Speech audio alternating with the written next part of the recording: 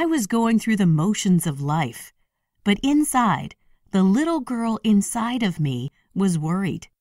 The little girl inside of me wanted to save the sick and afflicted. The little girl inside of me was overcome with fear and sadness. I was trying to repress her worries, but the ghosts of my childhood past kept rising to the surface in a blur of faces and emotions.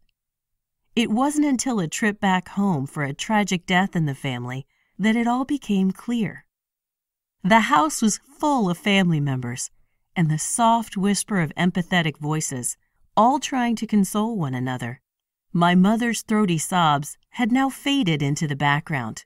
It was a sound I thought I'd never hear again after my grandmother, her mother, passed away.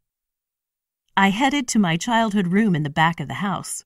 It was exactly how I had left it years ago when I left for college. The four poster canopy bed greeting me at the door always made me feel like a princess.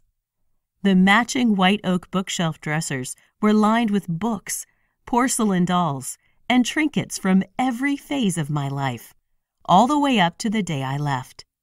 As I rifled through the drawers, I came across a small lined notebook. It was covered with doodles, but in the center of the front cover was the word journal. The memory suddenly came flooding back. This was not just a book of poetry or short stories. These were the words of the little girl inside of me. This was what she wanted me to confront, to remember, to overcome. I closed the door, sat down in the rocking chair by the window, and began to read.